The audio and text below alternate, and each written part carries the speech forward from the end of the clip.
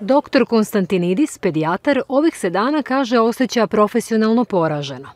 Argument e, jednog, ajde da kažem, jedne javne ličnosti, pevača, glumca ili kako god ne želim da ovaj, e, licitiram, ima jednaku snagu kao mišljenje koji izrekne stručnjak e, koje zasniva svoje mišljenje na desetinama studija i na hiljadama ili stotinama hiljada ovaj, obrađenih uzoraka. I to je tek deo problema koji je ove godine dostigao enormne razmere.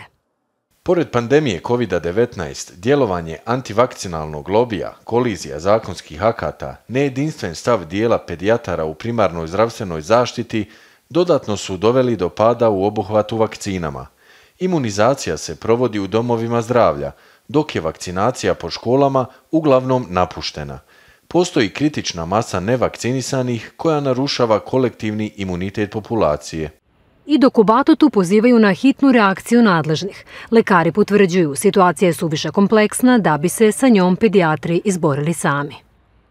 Iako je lekar u obavezi da prijavi roditelja koji odbija da mu dete bude vakcinisano vakcinom koja je zakonski obavezna, sudska praksa je u ovom slučaju takva da će sve više pedijatara to na kraju odbiti da učine.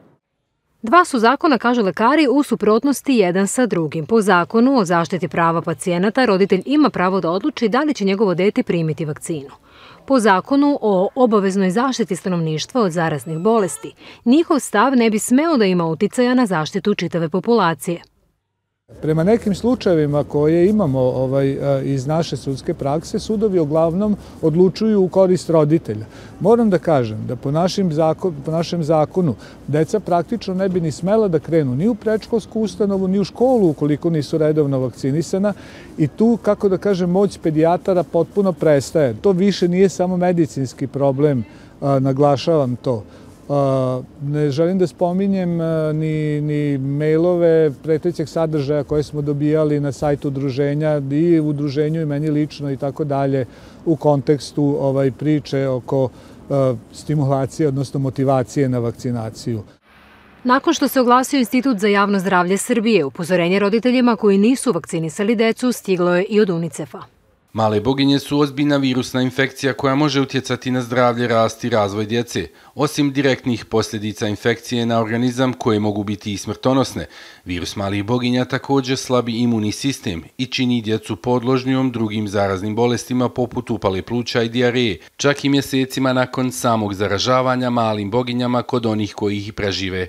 Da bi jedna zemlja bila zaštićena od bolesti od kojih štiti MMR vakcina, neophodno je da je primi 95% populacije. Prema dostupnim podacima iz regije, na pragu tog procenta samo je Slovenija. Srbija na 75, a Crna Gora na alarmantnih između 20 i 30 odsto vakcinisane dece. Jelena Glušac, Al Jazeera, Beograd.